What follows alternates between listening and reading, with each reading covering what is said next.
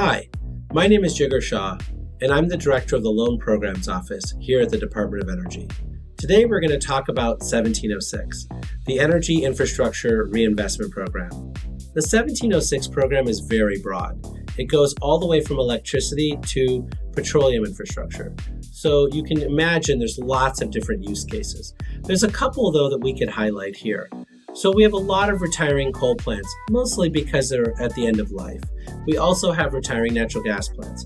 So those physical properties can be repurposed or retooled into something different. So you could imagine putting in solar plus battery storage there, some coal plants are looking to be replaced by new nuclear plants, very exciting.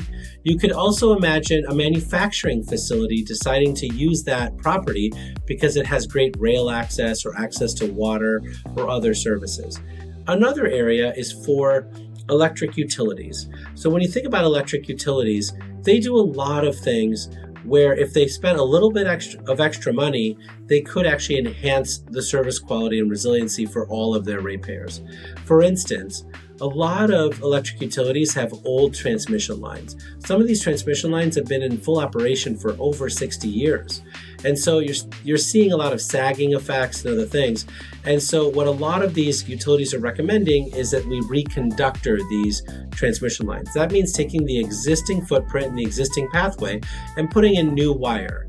And so by providing money from the 1706 program, we can help to buy down the cost of some of that and spread it over 30 years. And that way, you can actually really reduce the impacts on ratepayers while getting two to three times more carrying capacity out of the same transmission wires.